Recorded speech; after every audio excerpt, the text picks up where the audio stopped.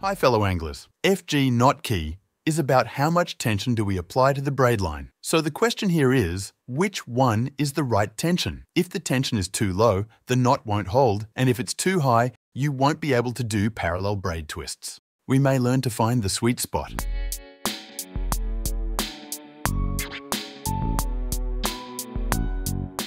Starting with a simple loop knot in the braid end, coming from our rod, then we attach to a doorknob. I leave about 3 feet of braid to work with. We use a soft chair back to lean on the braid. The weight of the rod itself creates tension in the braid line.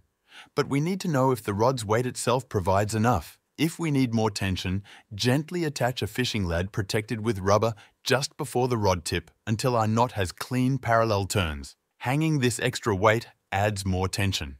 We just know our optimal tension. Then set the fluorocarbon in the middle of our tensioned braid. Start by making turns around the braid, crossing the fluorocarbon tail over the braid and then going under it. After each turns pull the fluorocarbon tightly. We do the same to the right, repeating right and left until we wrap a length of 2 centimeters, a little less than an inch. With the right tension, you should see clean and uniform turns without irregular shapes. Now, we will secure our knot with a simple overhand knot. Keep holding the knot with your thumb and index fingers. Cut the braid loop from our doorknob. Let's do an overknot using this braid tail around the fluorocarbon tail, together with the braid line from the rod. Tight the overknot, and now you can release your fingers. It's really important to apply strong tension without straining our hands by pulling the braid line in one direction and the leader in the opposite one.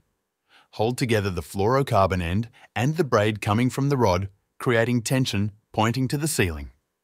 Take the braid end and start doing overhand knots, one to the left and then to the right. We are doing a braided pattern that extends to a length of about 5 millimeters, more or less a quarter of an inch.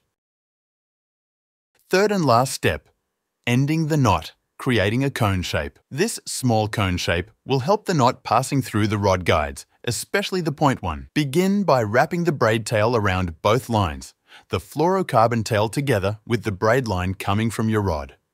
You'll want to complete seven turns and be sure to leave a small braid loop. These turns should be made from top to bottom, clockwise when looking from the ceiling to the floor.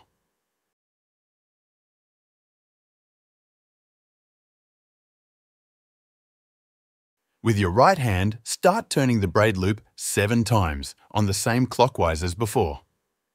Gently pull downward from the braid tail until the knot tightens completely and you'll notice a the small cone shape. Finally, you can cut the fluorocarbon tail as close to the knot as you prefer because our final knot is secure. Now, the knot, it's done. Thanks for your time and if you wish I would be happy if you like my video and subscribe.